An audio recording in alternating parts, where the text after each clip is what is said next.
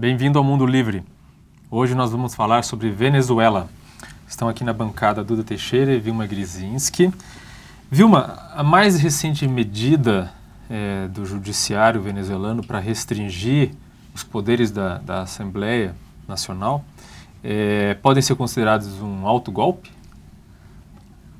A gente tem que col colocar isso no contexto político da Venezuela, porque uh, o poder uh, legislativo foi eleito, o executivo da mesma maneira foi eleito e o judiciário foi completamente aparelhado. O judiciário, uh, todas as instâncias, em, em todos os níveis, uh, que teria que ser um, um, poder independente, não é independente, ele é totalmente aparelhado pelo uh, regime chavista, bolivarianista. E lembrando, só para só fazer uma parte, lembrando que é, quando a oposição ganhou as eleições legislativas de dezembro do ano passado, é, entre a eleição da, desses deputados de oposição e, e a posse deles, o, o, governo fez uma limpa na, na sala constitucional da, do, da Suprema Corte venezuelana para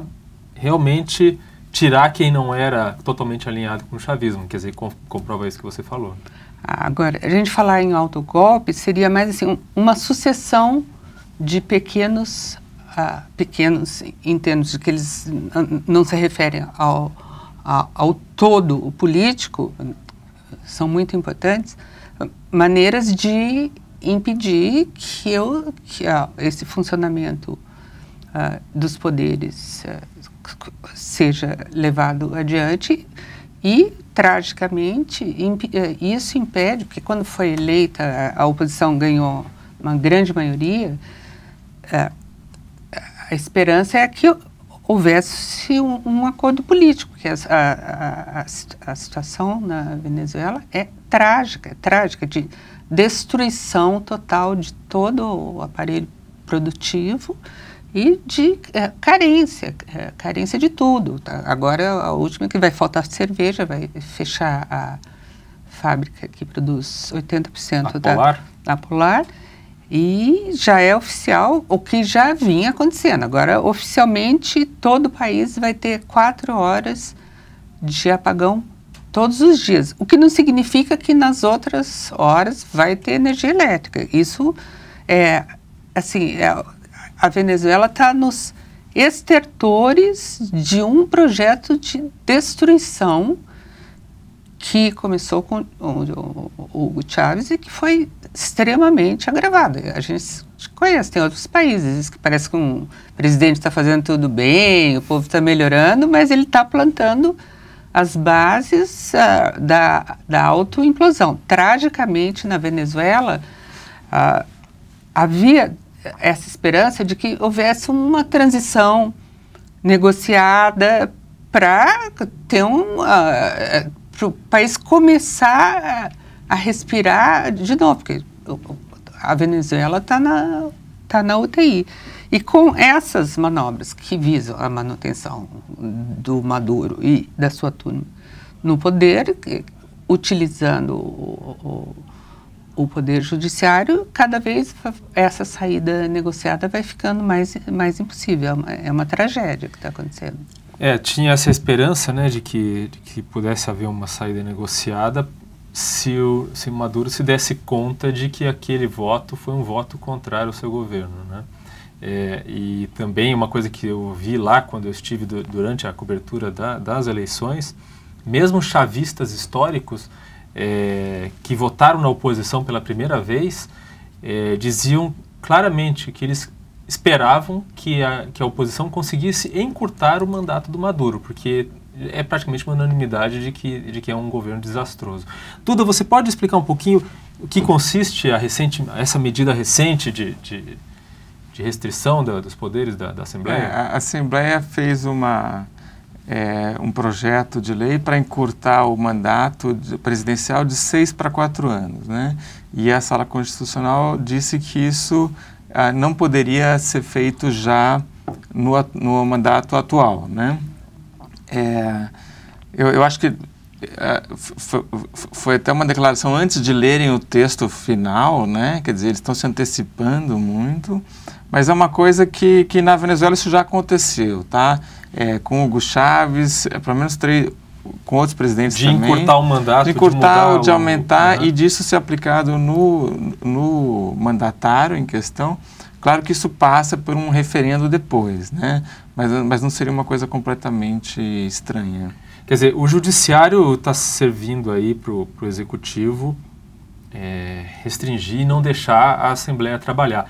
É, quais foram as outras medidas? Porque são várias, né? É uma, é, uma sucessão de medidas burocráticas Sim. ali. É, foram nove sentenças é, até hoje. Desde né? o, de quando? Desde o início Desde, desde, desde o começo do ano. É, e, então, entre outras, por exemplo, toda a lei da Assembleia é, é claro que toda lei que a, que a Assembleia faz passa pela Sala Constitucional, né? Isso está na Constituição.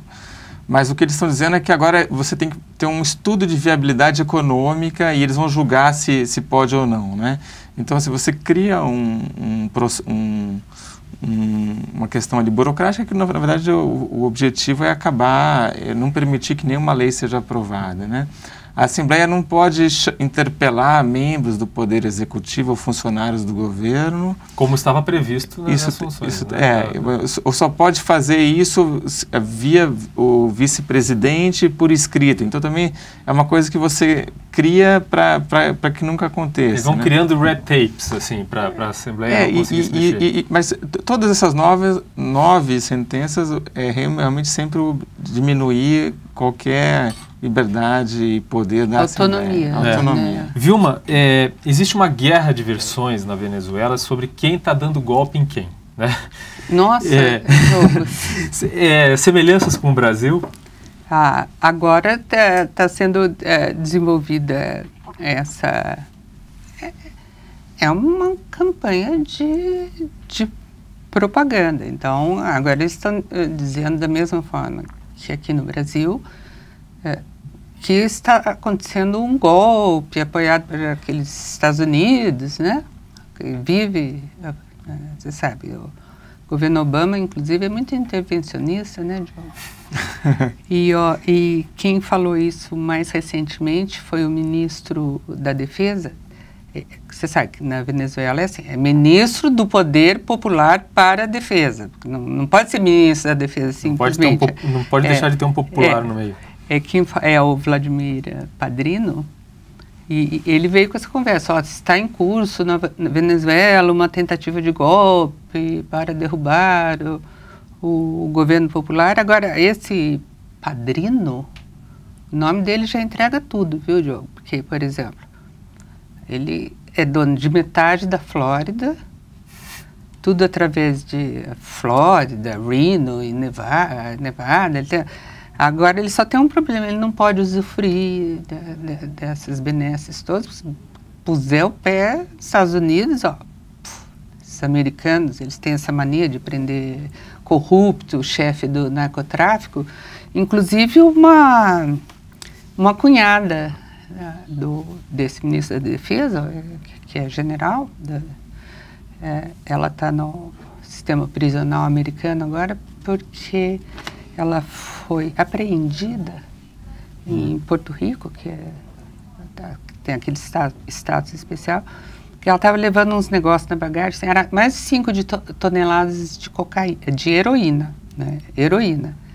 Então, você sabe, os americanos perseguem os movimentos populares. Populares e revolucionários. Então, essa senhora revolucionária e representante da, do povo venezuelano, que estava com mais de 5 mil quilos de heroína.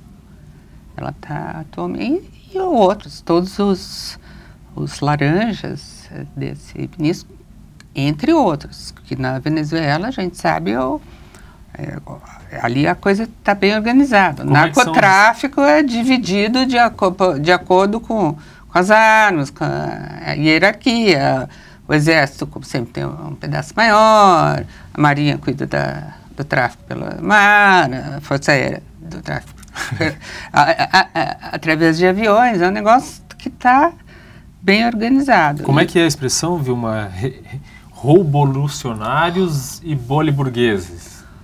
revolucionários, isso era quando eles estavam roubando só o padrão normal. Agora eles já são, eles estão virando genocidas do seu próprio povo, porque as, as carências na Venezuela, é. elas são inacreditáveis, não tem remédio. Nos hospitais, tem uh, hospitais assim que seriam hospitais de, de referência, tem um hospital infantil, tem um, uma reportagem no Telegraph que é, as crianças que, é, com doenças graves morrendo porque criança com câncer não tem né, como não tem as, as drogas para fazer né? É, quimioterapia e agora até foi criada uma rede clandestina com pessoas que ajudam geralmente pessoas clandestinas hein? Uhum. pessoas uh, venezuelanas que estão fora da Venezuela para contrabandear remédios para uh, tentar salvar a vida das, de crianças que estão uh, em situações de, de alta emergência. É, é trágico. É a, trágico. Gente, a gente tem um vídeo que mostra é, uma disputa por farinha, quer dizer, a polícia é, recolhendo sacos de farinha de um supermercado. O Duda vai explicar direitinho do que se trata. E a população que estava na fila para tentar comprar alimento se revolta. Vamos mostrar.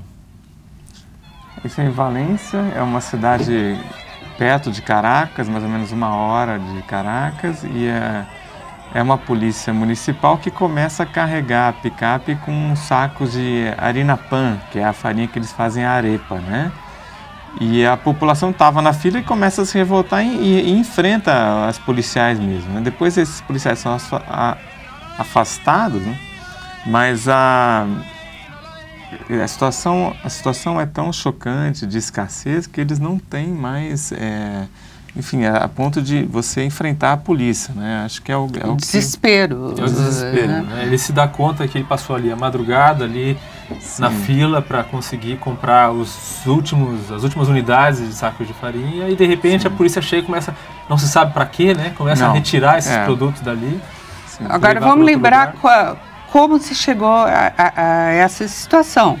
Uh, o, o governo uh, venezuelano, desde a época do Chaves, passou a, se, a controlar tudo. Tem o Ministério do Racionamento, é como se fosse Cuba, você tem que ter uma cadernetinha, os produtos que você pode comprar. A gente sabe que isso inúmeras vezes já foi comprovado, é a receita do desastre. Isso aconteceu na União Soviética, nos países satélites sob domínio eh, soviético, só que a Venezuela não é a antiga Alemanha Oriental, né?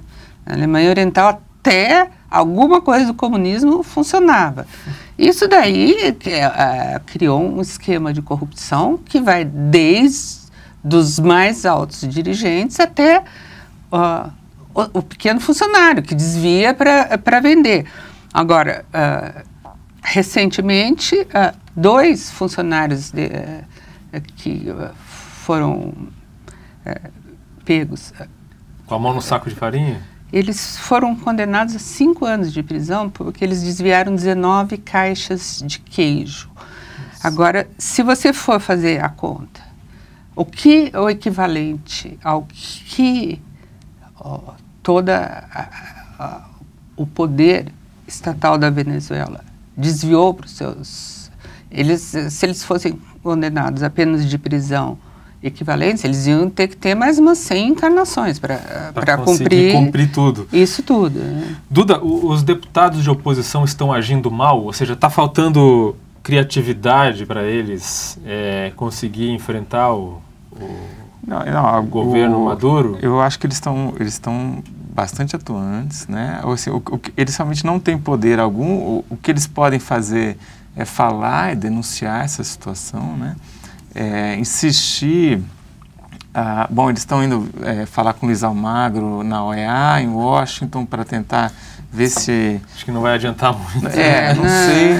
Mas assim. É, isso é um indicador de desespero. De desespero né? também, agora, o que pode acontecer? Amanhã vai, vão ter manifestações populares. Eles vão tentar. O, o Conselho Nacional Eleitoral permite esse referendo revogatório, mas você, ele precisa dar os formulários para que você saia colhendo a, a assinaturas e, e não vai dar, né? não vai ter. Então isso acabou de ser aprovado. É. Eu acabei de receber a notícia ah, é? aqui que eles aprovaram a entrega das, das planilhas. É. é agora elas, a, Aí, a, entrega precisa acontecer, né? Porque entre aprovar e, e acontecer, né? eles vão eles vão fazendo as coisas por conta gotas, né? Então eles demoram, ficam segurando para liberar as planilhas. Daí eles não entregam. Aí o segundo passo é depois tem que receber as assinaturas, né, Duda? Tem todo, todo esse processo também. Depois de recolher as assinaturas, a CNE tem que aceitar é um, é um as assinaturas longo, que foram feitas. É um processo longo e numa situação de, de emergência, né? Quer dizer, é, não sei o, o que, que, vai vir primeiro, né?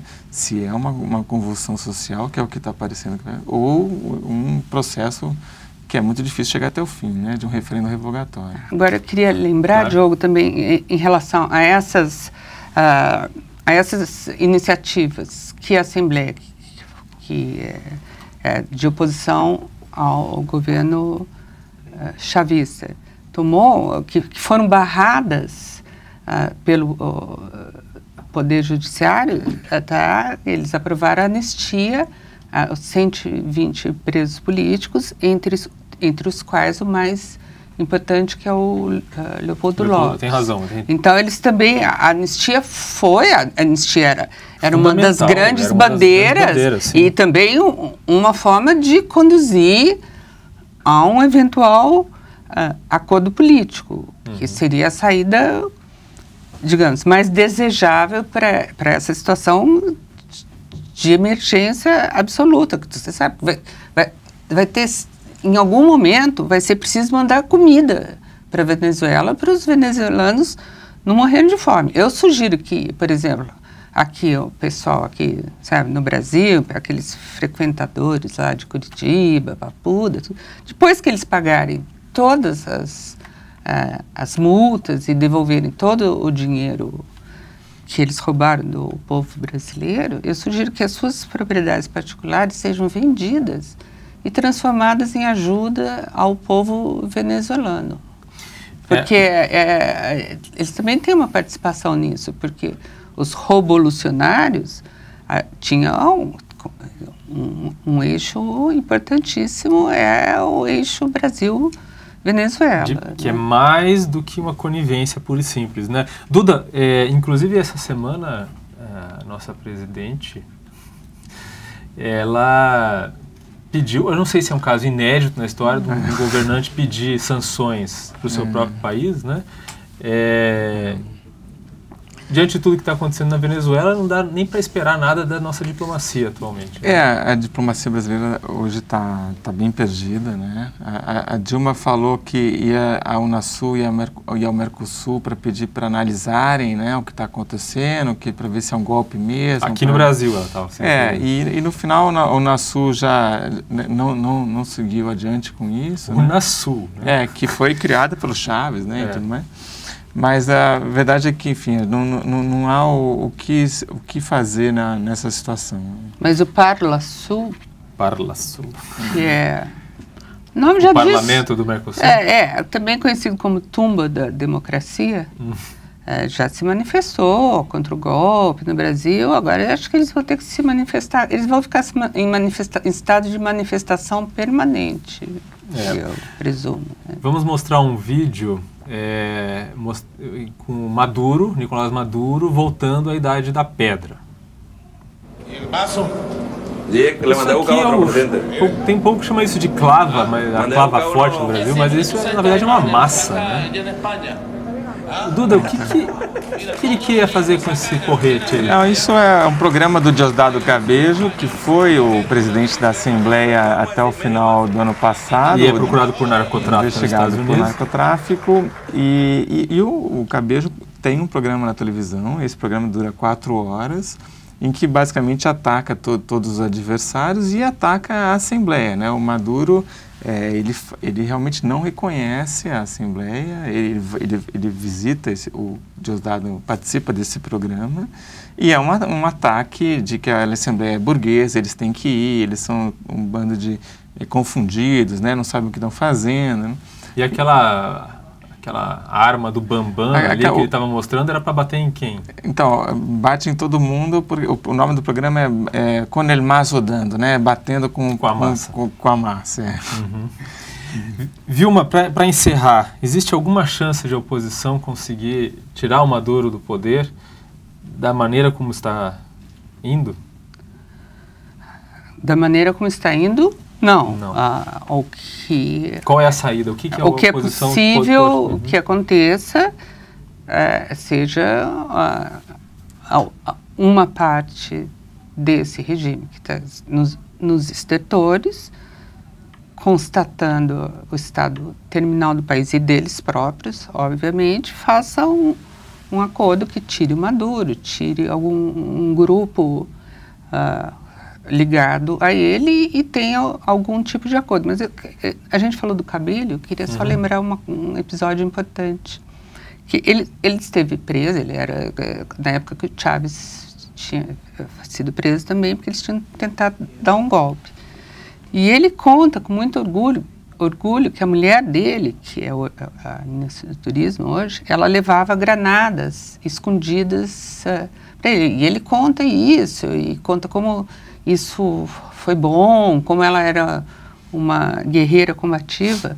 E a, numa das, logo depois que a, que a oposição ganhou a, a eleição, numa maneira de retaliatória, evidentemente, a Lilian Tintori, mulher do Leopoldo Chaves, eh, do, do Leopoldo Lopes, desculpa, e a mãe dele com os filhos pequenos foram fazer uma visita e eles fizeram uma coisa que nunca tinham feito, que é a revista íntima. Inclusive, a avó das crianças teve que se despir e fazer tudo aquilo na frente dos netos. Então, hoje no poder tem um homem que se jacta de que a mulher levava Granada. granadas para ele quando ele estava preso, e tem um líder da oposição que eles fizeram isso, obviamente obedecendo a ordens, para como uma forma de tortura psicológica. Claro. Você, se você submete a mãe, a, a esposa e os dois filhos pequenos a essa forma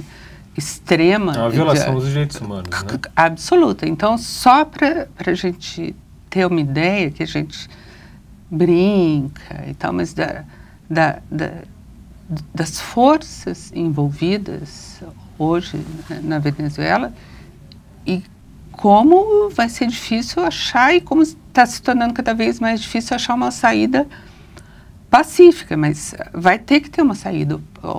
A, a- a- população vai começar a passar fome em massa, eles já, já passam, já estão com Os restri- mais pobres, principalmente. né? restrição quem de tem- alimentação e, e a- é uma situação de emergência. É, quem não mesmo, tem né? acesso a dólar na Venezuela está perdido, porque realmente não, não tem dificuldade de conseguir botar comida na mesa. Muito obrigado, Vilma. Duda, muito obrigado. Este foi o Mundo Livre, toda terça-feira em TV. Já até breve.